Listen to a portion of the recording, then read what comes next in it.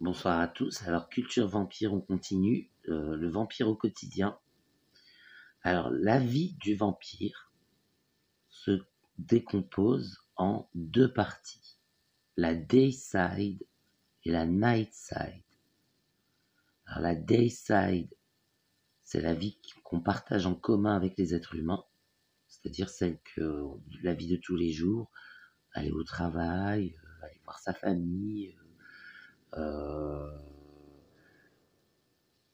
aller voir ses amis, aller au travail, aller voir sa famille, aller au sport, aller euh, voir le médecin, aller chez le coiffeur, aller. c'est une vie qu'on a en commun avec les êtres humains parce que ça se passe la journée. C'est que là, il n'y a que là que tout est ouvert dans, dans la vie terrestre. C'est la journée que les magasins sont ouverts, c'est la journée que le travail est ouvert, c'est la journée que, qu'on fait beaucoup de choses, la plupart des gens. C'est la vie en commun avec les êtres humains, la dayside. Le vampire est très souvent solitaire, c'est jamais des bandes de vampires. C'est rare. Souvent, il est solitaire ou en couple. C'est-à-dire, c'est un ou deux vampires, en général. Ceux qui ont de la chance sont deux, ceux qui ont moins de chance sont seuls. Et la nuit, la night side, c'est celle-là qu'on passe en, donc en solitaire ou en couple. Euh, une partie de notre vie qu'on ne partage pas avec les êtres humains puisqu'on y fait des choses. Euh, ah bah alors ça peut être euh, très bien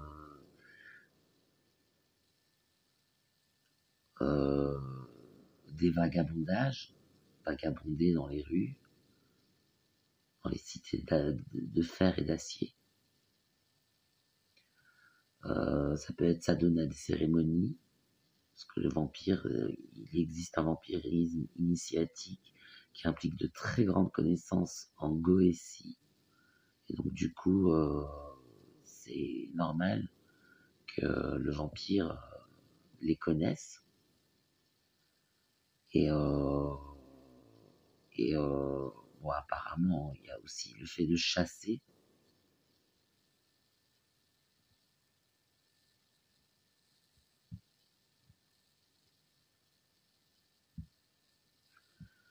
Mais chasser, euh, c'est pas chasser comme on chasse dans Buffy contre les vampires, c'est chasser la chair fraîche, c'est-à-dire draguer en fait la nuit, dans les boîtes, les bars, les clubs.